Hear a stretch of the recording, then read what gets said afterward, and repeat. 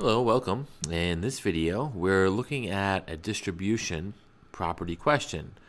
The goal of this problem is to simplify, but in this case, the only simplification we can do is to multiply this 2, this factor, by all of the terms, the x term and the 3 term, inside the parentheses. So that just means we distribute the 2 to the x and the 3 over addition. So 2 times x is 2 x's. That's my x.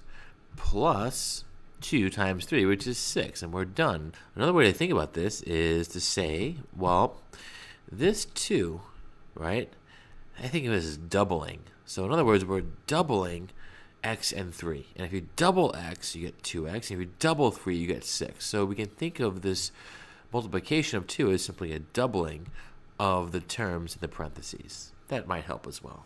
All right, thanks.